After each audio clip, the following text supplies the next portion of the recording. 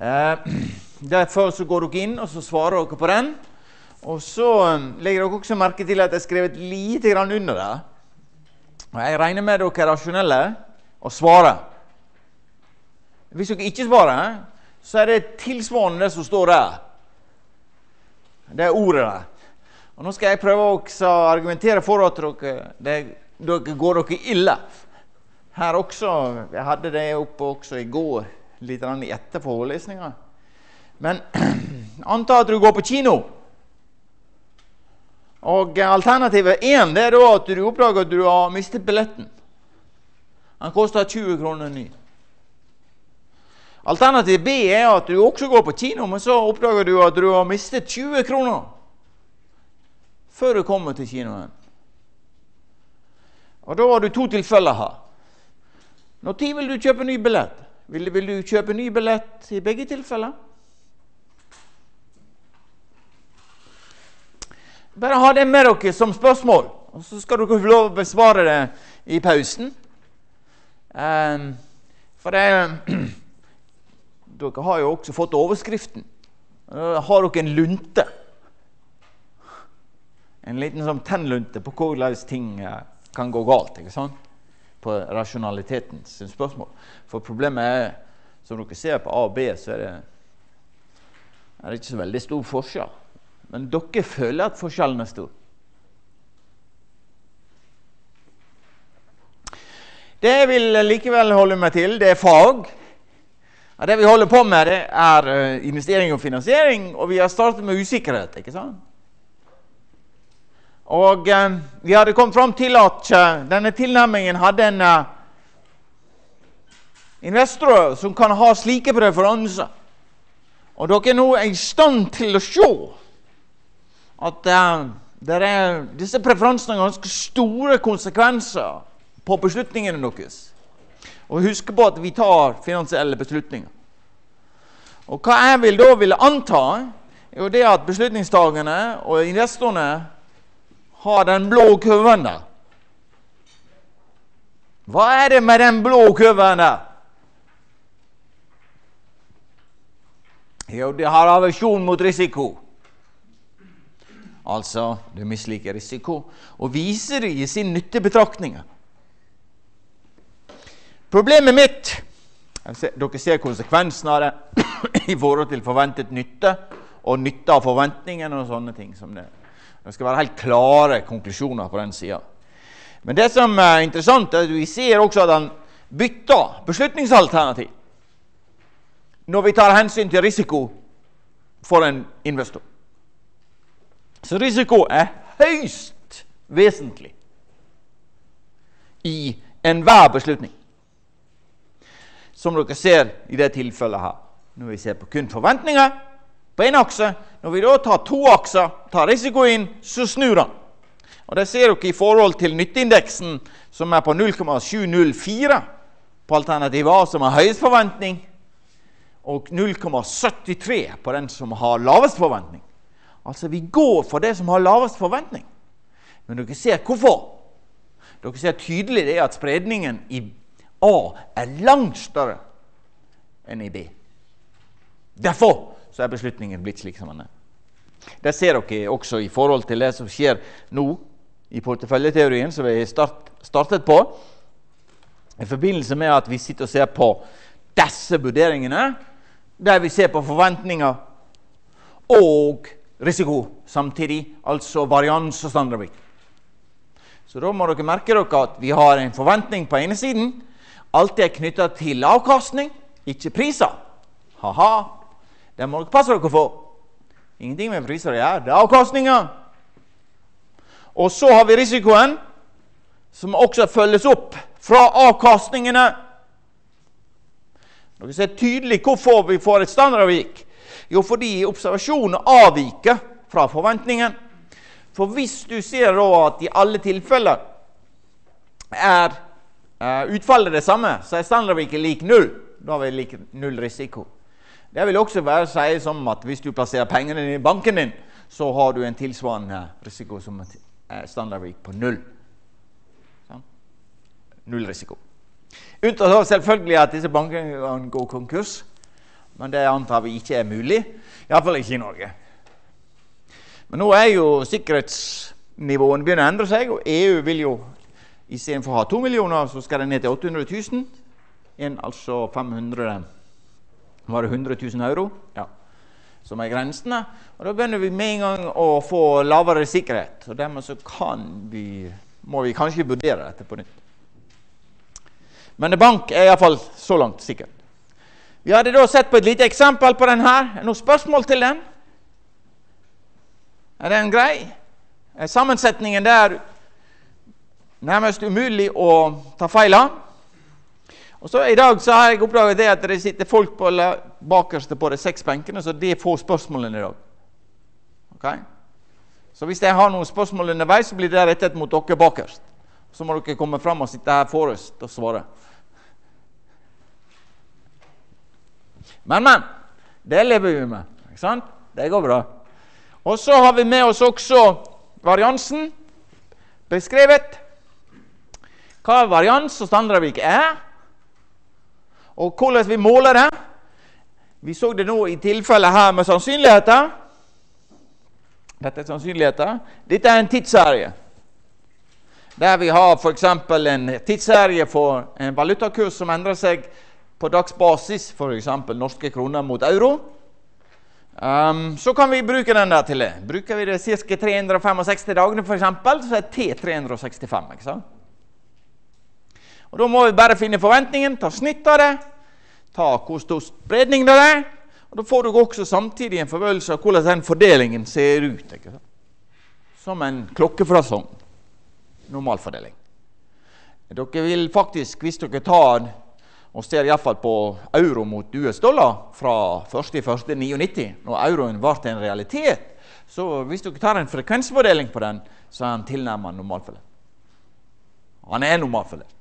Er, det er ubetydelige avstander for en normalfordeling av det du ikke ser der, på en euro-dollar, framfor også en helt klassisk, um, teoretisk normalfordeling. Du må gjerne sjekke det. Og eh, hvis dere skal sjekke det, så er det en sånn frekvensfunksjon som ligger på i Excel, f.eks. Det er bare å laste ned fra Norges Bank. Her har vi også et eksempel på det. Så det på det sist. Og jeg regner det ut for dere. Følg utregningen. At dere er såpass um, Jeg kaller det såpass ærgjerrige i faget sin, sier at dere regner dette for penn dere sjøl. Så ikke kom og fortell meg at dere ikke har oppgaver å løse. Oppgaven står der. Vis at det er slik. Så må dere fortelle dere sjøl hvorfor det er slik. Hvorfor får vi slike resultater? Og hva resultatet forteller dere? Og den kom ut der. Og her har vi f.eks. Her er en klassisk normalfordeling. Um, teoretisk normalfordeling. Uh, jeg behøver ikke å sette opp hvordan den funksjonen ser ut. For en funksjon, Det ligger en funksjon bak den der, og den kan beskrives i detalj. Men jeg må vite litt om forventningen i mitt punkt, altså, og standardavviket. Hvis jeg får de to, ja, så har jeg alt.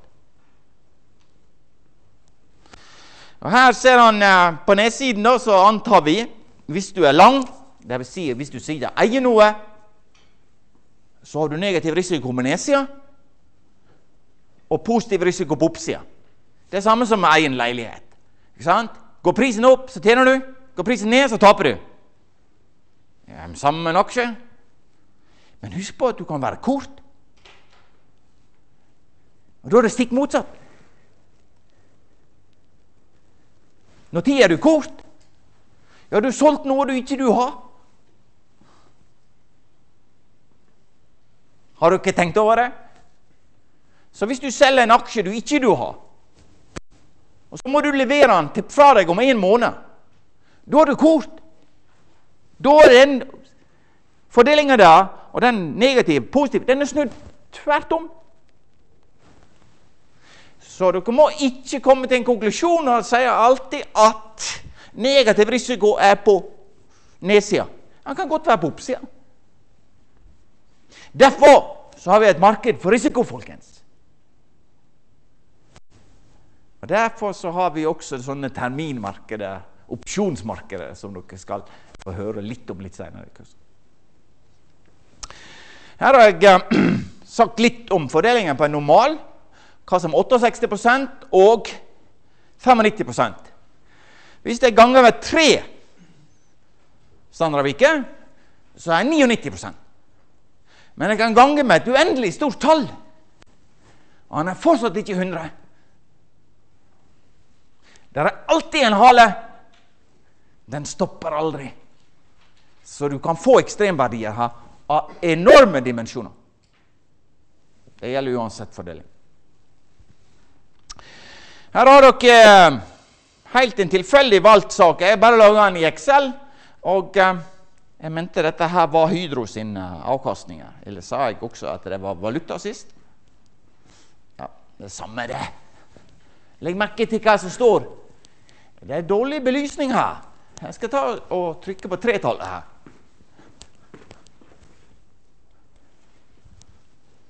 Ble det bedre? Flott. For da ser dere litt bedre, for det har vært for mye lys her. Um, ser du at det står 'frequency' der? Bare ta en lang tidsserie, sånn som jeg sa til dere på euro-dollar.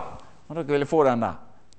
Men du må huske på når dere viser på frequency, så må dere holde ned kontroll, skift, enter. For den en array. Prøv. Det går. Det er det som er problemet ofte. Det er at dere ikke trykker den kontroll, skift, enter. Men hvis dere klarer å henvise til den der, så får du den fordelinga. Så er det bare å trekke den opp, slik som jeg har gjort her i en tabell grafisk. Jeg kan faktisk vise dere hvordan dere kan gjøre det. Det kan jeg gjøre i pausen. Eh, vi vet at det er en mål for sentral tendens, det er forventningen. Og standardavviket er det altså spredningen rundt forventningen. Her hadde vi noe sånn risiko og forventet nytte. Og Her har dere noen sånn sannsynlighetsfordelinger.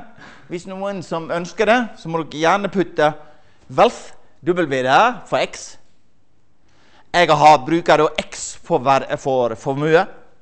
Og Da kan dere se på nyttefunksjonen slik som det kommer frem. Og hvordan jeg oppnår av avkastning i et selskaps verdipapir. Legg nå merke til at i, dere må på et eller annet vis i sånne nyttefunksjoner få inn risiko.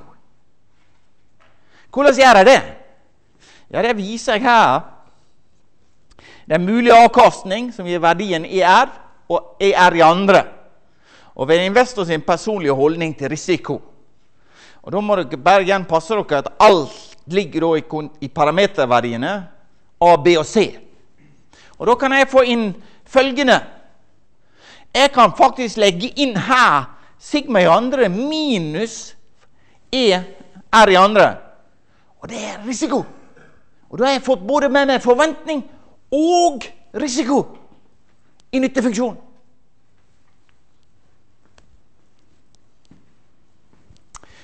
Um, det er spesielt én jeg henviser deg til. Det er, det, er, verre å få det inn i den andre funksjonen, som heter LNTX. Men Der har vi stort sett forventning som ligger inne. Men uh, hvis dere leser noe om det her, så har ikke jeg sagt at dette skal være så veldig sentralt. i det kurset her. For dette blir kastet ut likevel. Jeg kommer ikke til å bruke det så veldig mye. Men det er veldig viktig at dere ser at beslutningstaker er opptatt av to ting. Han er opptatt av forventningen, hva han får ut av investeringen, avkastningen altså, og risiko. Sigma. Sigma det er standardavviket. Dere ser det på bokstaven. Det er en S som er satt font på symbol, og det er sigma. Derfor så har vi bruker begrepet sigma. Det er gresk bokstav.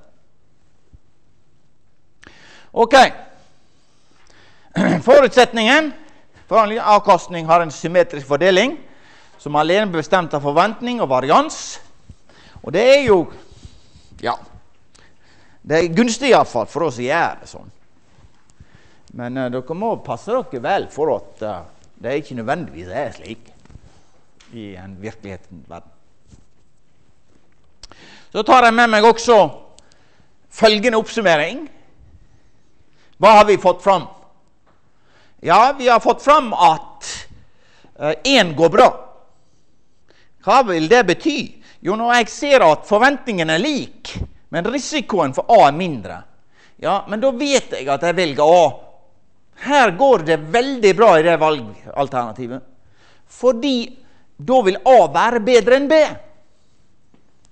Når det gjelder to, C og D, ja, da ser vi det også at risikoen er den samme. Men vi ser også at C sin avkastning er større enn D. Så her ser vi tydelig også her velger vi C. Men hva gjør du i tre?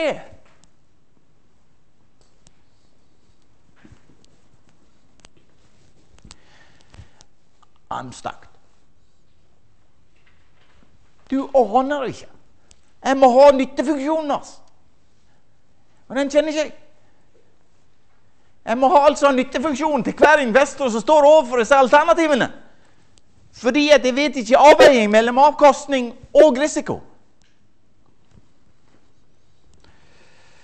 Og Da blir det porteføljeteorien jeg må se litt på for å se om jeg klarer å komme ut av det uføret her. Men merk dere følgende. I dette tilfellet case A er bedre enn B. Da har vi det her. Så det er ikke noe problem. Husk på igjen at jeg skal opp i det hjørnet her. Jeg alltid prøver å komme meg så langt opp her som mulig. ikke sant? Og dermed så er ikke det, Når jeg beveger meg den veien, så er A å foretrekke. Det er motsatt også. Se jo det. Ikke noe problem. C velges. Men her er problemet som jeg gjenspeiler for dere. Så hvordan ser hans nyttefunksjoner ut? Og Da var vi enige om at nyttefunksjonene ser omtrent slik ut. Ikke sant? Så hva er best her? Hvis jeg er litt smart her nå, så trekker jeg en nyttefunksjon som sier sånn. Ah, ah, han må aldri krysse! Unnskyld. Det skal ikke krysse. Det har ikke lov å krysse disse linjene. Men dere ser da at den eh, første jeg treffer på, det er E. Skyver meg utover diagrammet. Det siste jeg kommer på, det er F. Men jeg har ikke det. I'm stuck. Jeg kjenner ikke disse røde linjene. Og Nå må jeg prøve å se om jeg kan finne et alternativ måte å gjøre det på. Så gjør det mulig for meg å slippe å ha en nyttefunksjon fra deres side. For det er masse arbeid. Så det vil jeg helst unngå. Og Da er vi tilbake igjen da jeg går inn i porteføljeteorien. Der kommer hirsleifa inn. Og hirsleifa 58 um, i sin doktorgrad skrev det her. Og det som er resultatet av det, er såpass enkelt som det er her. Det står øverst variansen til avkastningen portefølje er mindre enn det aritmetiske gjennomsnittet av variansen til enkeltaksjene. Og det her er litt Ja, det, er rett og slett pga. variansformelen. Men den skal vi se på nå straks. Fordi det som er viktig for meg i en sånn portefølje når dere putter ting inn i en kurv, det er ikke nødvendigvis enkeltstående sin forventning og varians. Nei, det er sammensetningen av det. Det er altså kurven. Og Da går vi løs. Og så sitter jeg her og sier at vi har to verdipapirer. Og Dette kan jeg da gjøre generelt, og det gjør jeg også straks. Men først med to verdipapirer. Da ser dere det tydelig. En topapir er en portefølje. Like godt som noen annen portefølje. Så her har jeg da en P for portefølje. Altså forventningen til R for porteføljen er lik et snitt av A1 på den første og A2, altså andel. Så A står for hvor mye jeg går inn i det.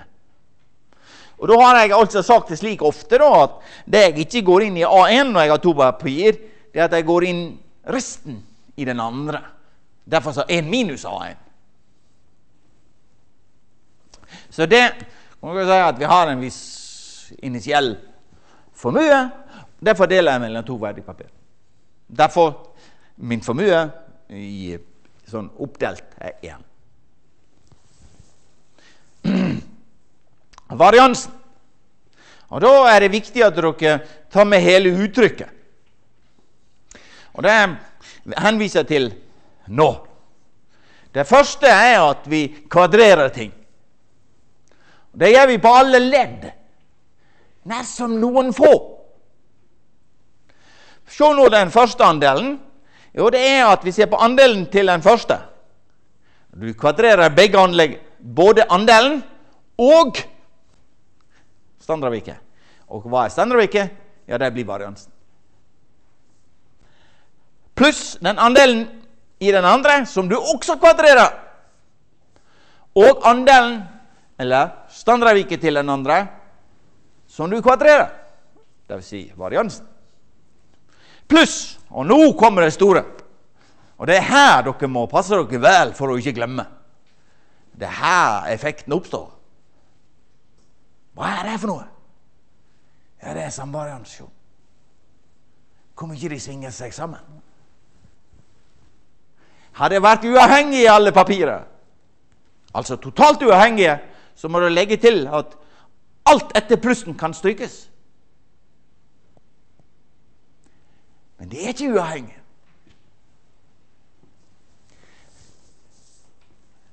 Vi skal se virkelig effekten av hvor viktig det siste leddet her blir, som består av to og Det merker dere først med Hvorfor står det totall der?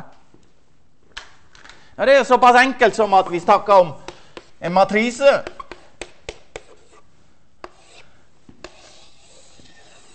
La oss tenke oss her. Husk på at det er variansen til A. AA. Standardvike. Oppå her i to. Varians. Da får jeg også varians til B her. Men hva er det her? Jo, det er kovarians mellom A og B. Men den står her også. To ganger. Derfor står det totallet. Og det er helt identisk. Fordi en kovarians med A, mellom A og B, det er også kovariansen mellom B og A. Derfor to. Og Derfor så har jeg med to og så andelen i den første. Husk på at den er ikke kvadrert.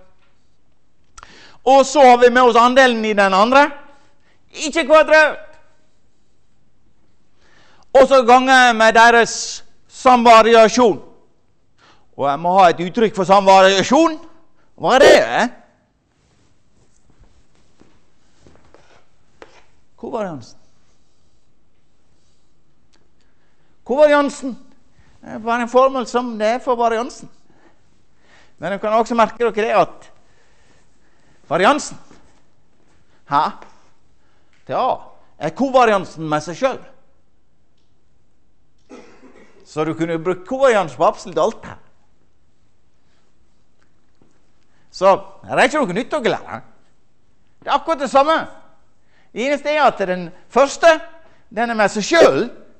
Den andre er mellom to papir. Og Da kan dere også merke dere at den her med seg sjøl ja, den har en bestemt verdi. Den vil alltid være perfekt. Men klart han beveger seg sammen når han er med seg sjøl. Men vil han bevege seg sammen med A og B? Det er et viktig spørsmål. Så la oss se på det. Først så tar vi kovariansen som jeg har definert her oppe. Og det er den vi vil se litt nærmere på. For det er vel det eneste som mangler nå. Ellers er jo denne her komplett. Vi har jo regnet ut alt. Så langt. Det eneste jeg ikke har definert for dere, er den samvariasjonen. Kovariansen. Kovariansen er ikke noe annet enn en varians, det også. Ingenting spesielt her. Bare pass på at det istedenfor med seg sjøl, som variansen er, så er det varians mellom to. Det blir kovarians. Bruker bare lite grann Bruker en ko foran. Kovarians. Og Den defineres som kovariansen, som jeg også kan være litt smart og, og så definere litt om. Men ikke, la, ikke gjør det med det aller første, da. Men merk dere at en kovarians, slik som han står her Det kan du omdefinere litt og si at kovariansen mellom avkastningen til A og avkastningen til B Tror jeg kutter den der. Jo, det er jo samme som å ta standardavviket til A, gange med til standardavviket til B, og så lager jeg en ny variabel som er kanskje litt mer forståelig enn den kovariansen. For den her som jeg nå kommer fram til, som jeg har kalt korrelasjon, det er mellom RA og RB. Den har klare begrensninger på verdier. Den kan aldri gå utover pluss og minus 1. Derfor så bruker jeg den. Men det er ikke noe Det er ikke noe annet enn det der. Det er helt det samme. Men den der kan gå fra minus uendelig opp til pluss uendelig. Så kan den der gå kun fra minus 1 hvis du er i dette her korrelasjonen, opp til pluss 1. Og da må jeg, ha, jeg må ha med meg likhetstegnet der. Derfor ser jeg det. For da kan jeg fortolke det litt bedre. Derfor så utvider han til kollasjon. Og Det er kanskje også litt mer kjent begrep for dere. Kollasjon, en kovarians. Men det er akkurat det samme. Bare pass på den der at du tar kollasjon og ganger med disse to. Så har du den der. Men nå må jeg vise dere til hvordan vi skal regne den her ut slik at dere er bevisst på at den også kan regnes ut på lik linje som dere beregner varians. Ja, men vi er det på samme måte som varians. Det er helt identisk. Først fortolkning. Bare pass på igjen at jeg har fått en korrelasjon her som da kan variere fra pluss 1 til minus 1. Og så har jeg faktisk sagt at hva denne pluss 1 og minus 1 betyr. For hvis den er pluss 1, så er han perfekt. Det vil si at det beveger seg identisk. Så den ene går opp 10% så går den andre opp 10 Når den andre går ned 10% så går den andre ned 10% Perfekt samvariasjon. Men hva er minus 1? Det går det stikk motsatt. Da den ene går pluss 10, så går den andre minus 10. Når den andre går minus 10, så går den andre pluss 10. Da er han minus 1. Så han han null uavhengig. Og Da beveger det seg helt i utakt. Det har ingen sammenheng mellom det. Og det er ofte det verste. Men vi skal se at det har en ganske stor effekt likevel. Bare at det er null. Bare jeg får vite det at det beveger seg tilfeldig sammen. Har jeg med meg andre verdier, da? Jeg har sagt litt om når det er mindre enn null, og når det er større enn null. Bare pass på at vi bruker begrepet at de beveger seg litt sammen. Når andre beveger seg opp ti, så går den kanskje andre opp med pluss én, pluss to. Den beveger seg sammen, iallfall på plussida. Men da gjør det også slik at da beveger det seg sammen på minussida også. Og da har vi perfekt, eller delvis, sånn negativ korrelasjon så har vi noen som har noen delvis en positiv korrelasjon. Så hva er negativ, da? Korrelasjon. Ja, Det er når den ene går ned med 1% så har den andre en tendens til å gå opp med noe. Altså fortegnet er ulikt. Fortegnet er ulikt. Tenk gjennom et papir du sitter og eier. Si du sitter med to stykker. da aksjer. Har du lagt merke til at hvis du ikke sitter og eier dem omtrent i like andeler når enden går opp, og, det, og, og eh, sammenhengen minus 1, så er dere uten risiko.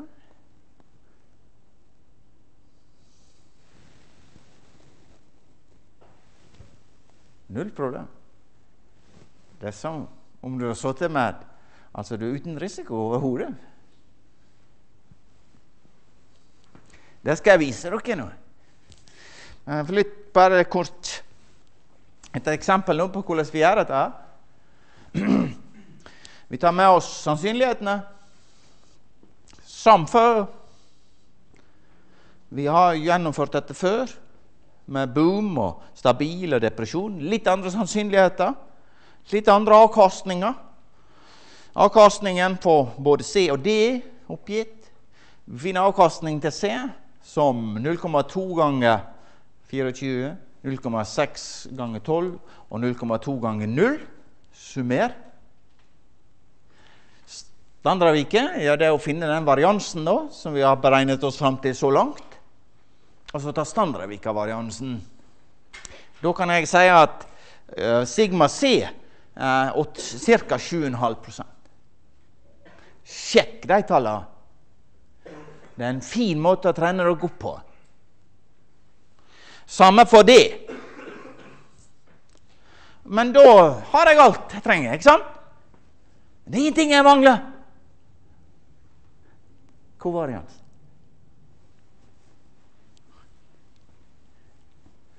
Hvordan gjør jeg den?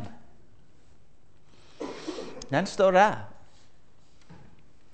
Den summa av det kan sikkert skremme dere litt bare det, men det er bare det at istedenfor å kvadrere med seg sjøl, så ser jeg kvadratet består av at jeg ser på avstanden fra forventningen for henholdsvis C og D sammen. Så den første leddet er da avstanden fra forventningen for C. Og den andre leddet er avstanden fra forventningen for D den andre investeringen. Og så ganger jeg med sannsynlighet. Husk på å summere over alle sannsynligheter. Det er tre stykker ikke sant? 0,2, 0,6 og 0,2. Summen er igjen. Det er ikke noe annet enn pluss og minus her. Ja, Kanskje du må gange en gang. Det eneste. Her er ingen derivasjon. Integrasjon. Ingenting. Pluss minus. Pluss at du må gange en gang. Det er alt. Og la ikke jernteppet nå, dette her berømte teppet, gå ned. Det er ikke vanskelig. Det, er, det som er vanskelig, er at dere må ha en intuisjon hvorfor dette er viktig. Men det har jeg fått fram nå, ikke sant? Hvorfor er samvariasjon viktig? Jo, fordi det er i en kurv. Det er samme som at du sitter og eier flere leiligheter, det er flere byer. Bare én ting jeg må ha fram, det er at prisstigningen og prisendringene er litt forskjellige mellom byene. Da er kovariansen ulik. Så hvis dere vil kjøpe leilighet i Oslo og et i Molde, så det eneste jeg forutsetter dem med, hvis dere skal oppnå en viss effekt, det er at ikke den prisstigningen som kommer i Oslo, er lik i Molde. Hvis det ikke er akkurat lik, så oppnår dere en risikoreduksjon. Vi skal se på det. Så vi går inn på kovariansen. Jeg har kommet fram til kovariansen er et veldig lavt tall. 0,00240.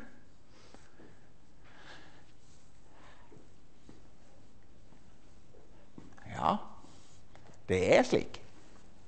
Det er samme som med variansen når du bruker desimaler. Husker dere at den også er liten? Yes. Så da setter vi den bare inn.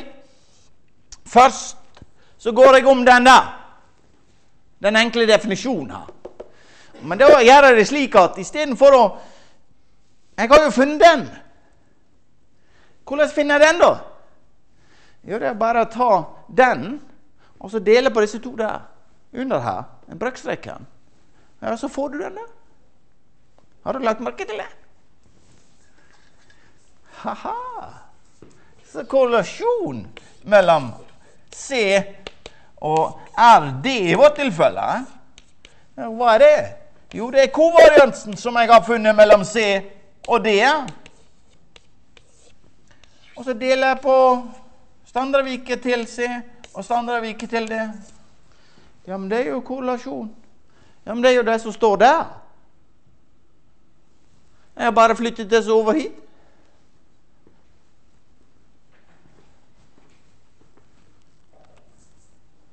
Der.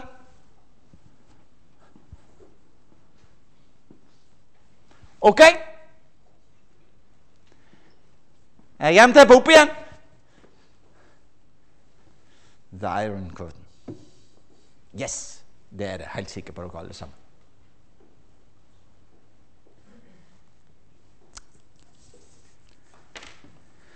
Her I dette tilfellet så får vi altså en positiv kollasjon. Altså fra minus 1 til pluss 1. Og den kan jeg fortolke. Den er pluss 0,21. Hva betyr det? Ja, Det er en tendens til at når den ene går opp, så går den andre opp. Den andre går ned, så går den andre ned. Altså, de har en tendens til å samvariere på samme side av null. Samme side av null. Så det vil si at når den andre går opp Én går opp, så går den andre opp. Når den andre går ned, så går den andre ned. Altså, det er positiv korrelasjon. Hadde det vært motsatt, hadde den vært negativ, den der, så vil dere sett at når den går ned, så går den andre opp. Men ikke i dette tilfellet. I og med at vi har positiv samvariasjon. 0,21. Den uh, fortolkningen ser vi der. OK?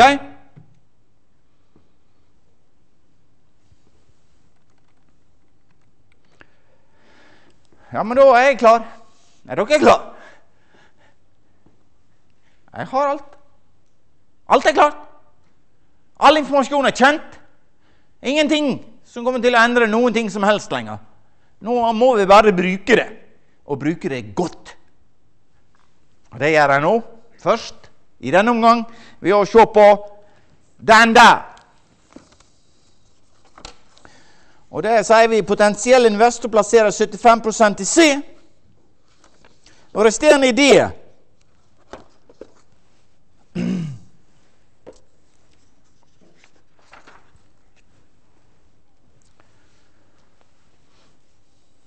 Bare sett inn. Dette er 75 helt tilfeldig valgt. Bruk gjerne et annet tall der. Men det må ikke bli negativt. Ja, kan det være negativt? Ja. Jeg har ikke sett noe krav om det.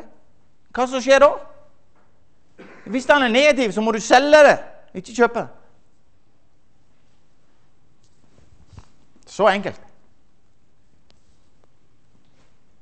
Men hold oss til det positive tallet. da. Han bruker 25, 75, da er det 25 på den andre.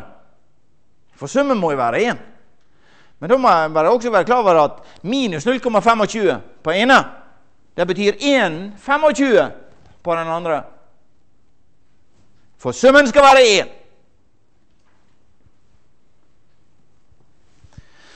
Her er dette tilfellet I all verden! 745? Hva skjedde?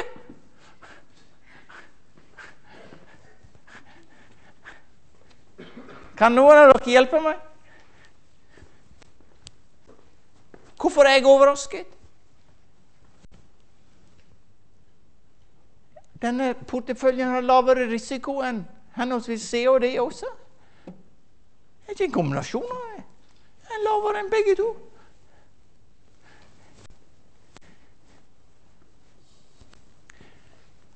Risikoreduksjon av portefølje. Så enkelt, så vanskelig. Alt er galt, ikke sant? Det er bra. Dere, dere ser det sjøl. Så legg merke til her borte da. Så går jeg tilbake igjen dit. Se nederst på sida. 7,59. Han andre var 15. Og porteføljen er 7,45.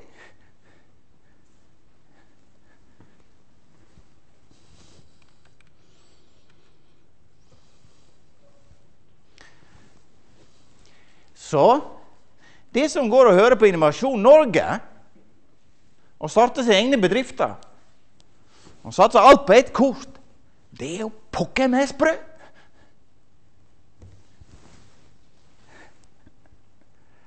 Det er langt bedre å kjøpe aksjer og så putte det i en portefølje.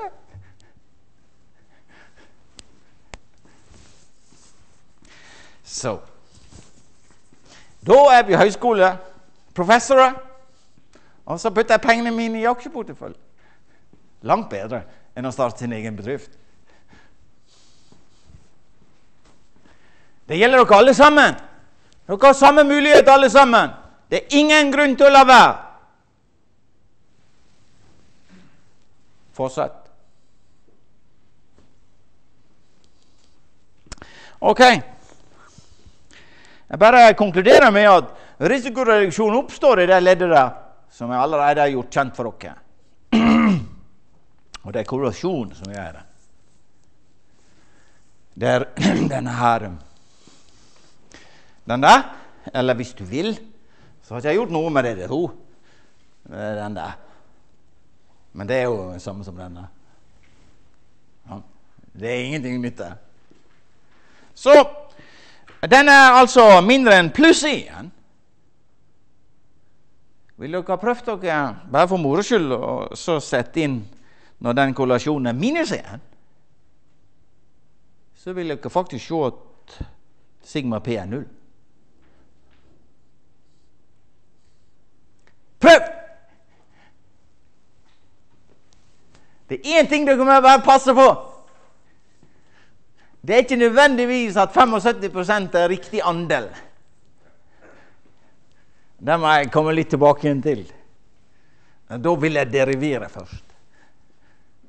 Da skal jeg garantere dere at resultatet er at risikoen er null.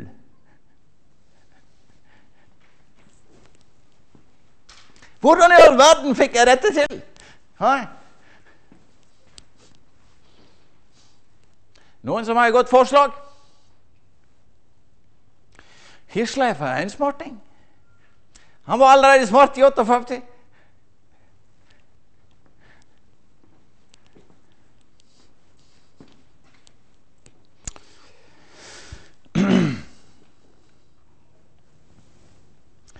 Noen spørsmål så langt? Klokka går fort. den. Skal ikke gå så fort. Jeg har med meg også et eksempel til. Og den uh, er litt interessant. fordi hvis jeg setter opp dette er, Bare gå tilbake og så regner dere alle sammen. Alle sammen bruker en times tid, går gjennom alt jeg har gjort for hånd.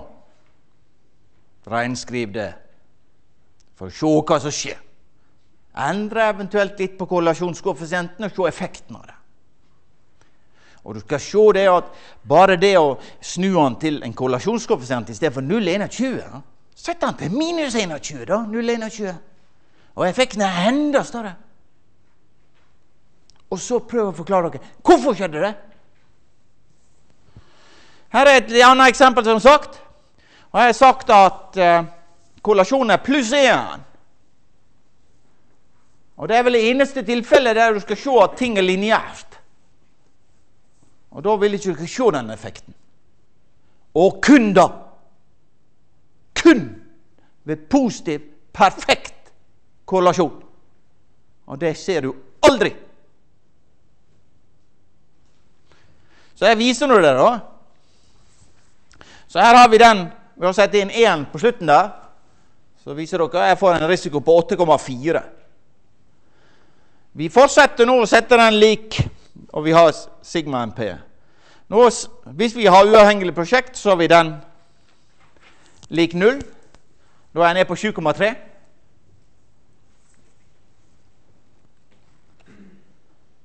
Så viser jeg dere hele linja. Pluss 1. 0,5. 0. minus 0,5 og minus 1. Hvorfor går det slik? Korrelasjon.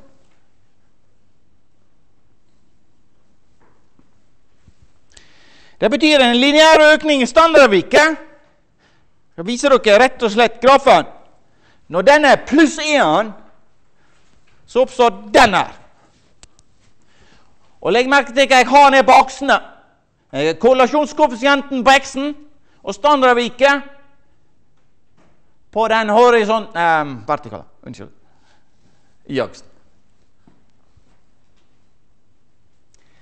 Og det er kun i det tilfellet at sigma, denne kollasjonen er pluss én at dette her skjer.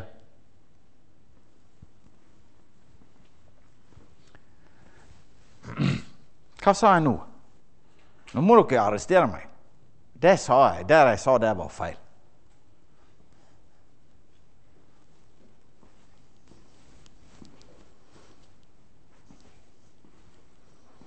Jeg sa at kollasjonen var pluss 1. ikke sant? Men kollasjonen går jo fra minus 1 til pluss 1. Ser du det at han er helt lineær i standardviken, med basis i kollasjon? Og Det er litt viktig at dere ser. Så standardviket avtar som en rett, en klar helning. Han går fra altså minus 6, eller pluss 6 selvfølgelig, opp til 8,5 ca. Det var ikke 8,4 vi fikk, eller noe sånt ca. 8,41. Og det er en rett linje.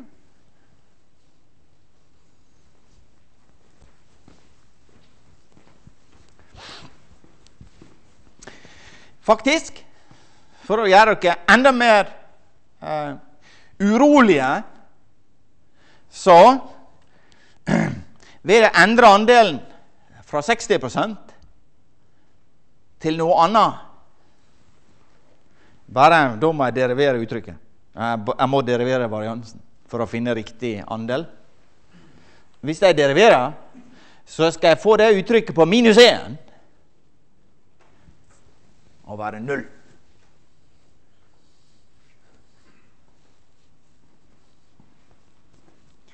Fortsatt en rett linje.